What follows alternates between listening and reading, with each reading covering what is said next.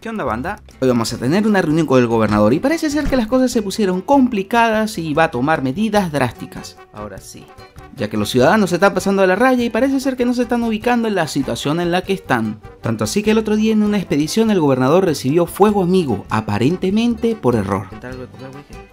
Así que se van a tomar medidas más estrictas y cambio de uniforme para poder generar un impacto mayor en la gente visualmente.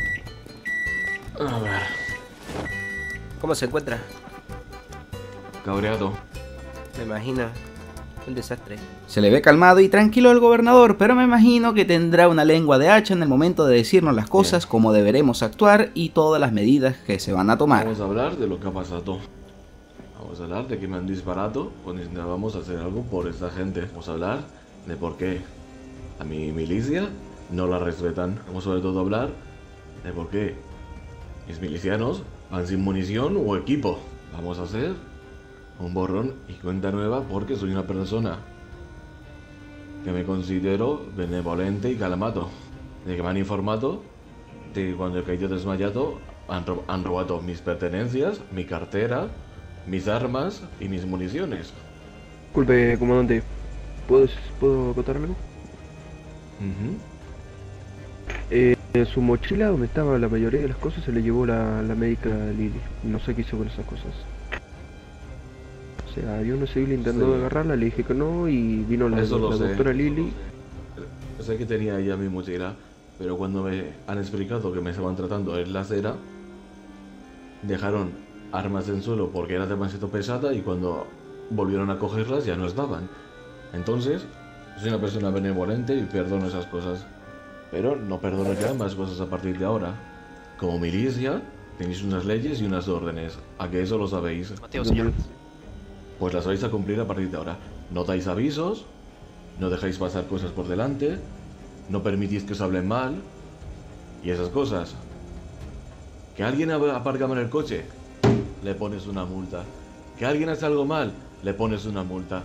Que alguien amenaza otra vez con una puta revolución como estoy hasta los cojones de oír y que no hagáis nada. Lo encerráis en una puta celda y se pudre en la celda hasta que su puta madre muera y crezcan hijos de los hongos de los cadáveres de su puta madre. ¿Alguien que te ha claro? Señor, sí, señor. Percibido, señor. Recibido, cama- eh, gobernador. La mínima persona que haga cualquier mención a una revolución, a las celdas. Y se queda en las celdas hasta que yo aparezca. Y esa persona dirá toda la información que tiene o no sale de esta p celda. ¿Ha quedado claro? Señor, sí, Sí. señor.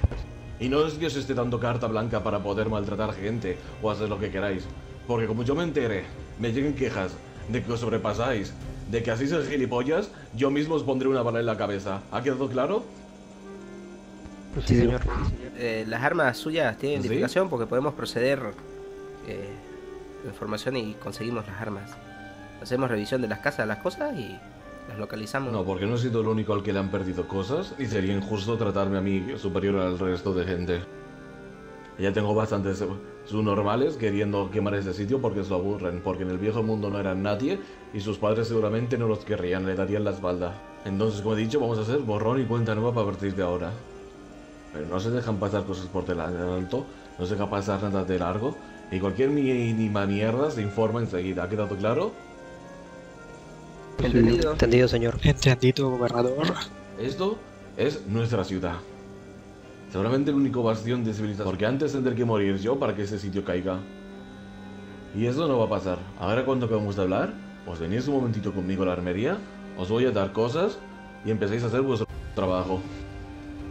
Y ahora cada vez que haya un problema, se soluciona y se taja de inmediato. No quiero como ha pasado antes de gente gritándose e intentando hacerse el héroe de película en mitad de PL ante las peleas. Si alguien no lo entiende, tenéis las capacidades y los medios para hacérselo entender. El problema son las represalias, gobernador. Esa ¿Represalias de gente. Y tengo más amenazas que buenos días, la verdad. Claro, pero es que no es uno ni dos, son demasiados. Entonces, cada vez que tratamos de mediar, eh, el señor, el señor Makarov el otro día era una simple multa, era una multa por portar un arma. El caballero empezó y empezó y empezó y al final acabó en la cárcel y ya, amenaz- y empezó a amenazar. Y el problema es que uno empieza, uno empieza con el asunto, y lo va contando y al final es literalmente entrar al bar y te sientes observado pero a las malas. Disculpa, ¿me puedes decir Claro, el nombre pero- del muchacho? Ya no, creo que era Tommy Underwood. Pero es que la gente se Tommy. toma todo demasiado a las malas. No pongo multas porque es que sé que al final me van a acabar metiendo un tiro. Ese Tommy Y yo lo no tengo puedo- un huevo. No puedo estar, no podemos estar simplemente por 60 fichas de mierda jugándonos a que vayamos por un callejón o vayamos por una calle que esté vacía y nos vacíen un cargador. Entiéndalo. Eso desde el primer momento que estamos estrenando estos nuevos uniformes nos, llaman soldados del imperio. La señora Sonia nos llama espermatozoides y no lo hace en privado. Lo hace en medio del bar y ya eh, la, la poca autoridad que podíamos llegar a tener porque están todo, es que es todo el día, es constante la cizaña de ciertos grupos hacia nosotros. No es que me duelan palabras, es que es algo que es constante. Entienda que, por ejemplo, vas a hacer una detención, o estás pidiendo a alguien que por favor colabore y ya empiezan a llamarte eh, Stormtrooper o espermatozoide. Y al final lo que acabas consiguiendo esa persona es que le recargue las pilas de un tazo, de. Porque no es otra, es que empiezan y tú le dices, por favor, colaboren. Vamos a terminar esto rápido. Vamos a seguir con lo nuestro donde estábamos y siguen y siguen o eh, sois incompetentes. Al final lo que acaban consiguiendo es que se den un paseo por aquí. Y eso al final lo único que hace es incrementar más el odio. Y no encuentro manera de evitar eso. La verdad que a todo el mundo le entro con buenas palabras. O sea, no me pueden decir que a alguien le hablo mal, porque es que no es así. El camarada querido tiene razón, hay unos civiles que son muy problemáticos y no les gusta... No les gusta recibir orden, básicamente. Se piensan que son los dueños de todo y bueno. Pues mira, esto es fácil. Tenéis una porra y un taser. Cuando se ponen así, me da exactamente igual lo que pase.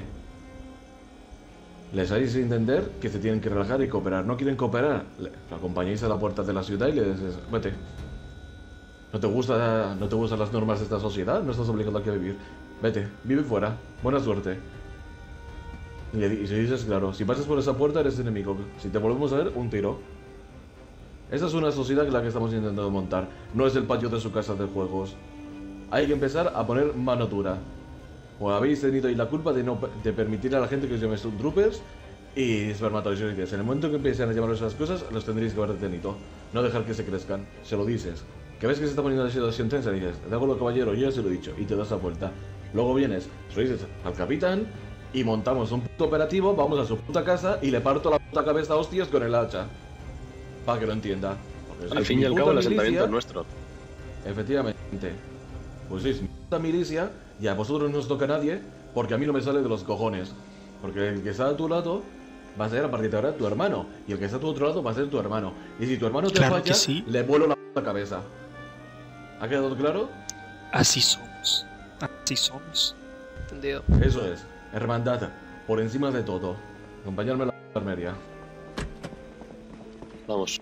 Como lograron escuchar, la situación se va a poner más complicada, vamos a tener que tomar medidas más drásticas, algo de mano dura, pero sin exagerar. Tendremos que tener un equilibrio en eso. El asentamiento es nuestro y se mantiene por el trabajo que llevamos haciendo aquí durante años. No tengo las intenciones de que me coma un puto marchito, porque cuatro retrasados dicen que quieren dar un golpe de estado. Y los cabecillas, uno tiene dos muñones y el otro va de camino. Si vemos que de verdad es un peligro, se monta un operativo, se da lo que se tenga que dar, se entra, se fusila al que se por en medio y se tiran los cadáveres en medio del pueblo, para que la gente lo vea y que sepan que no hay que hacer esas cosas. Y si las quieren intentar hacer, que lo intenten, que es el destino mismo. ¿Veis Eh, y perfecto. Y a ver esto por aquí. eh. Y esto por aquí. Ah, se lo dejo aquí, gobernador. Eh. Disculpe. Eh, ¿Hay alguien atendiendo de recepción o no? Eh, sí, que desean, güeros? ¿Cómo que güeros? Diga, señores. Acompáñeme. Venga, O güero. sea, un poquito, un poquito de educación, ¿no? No se preocupe, la educación en la primaria. ¿Qué desean?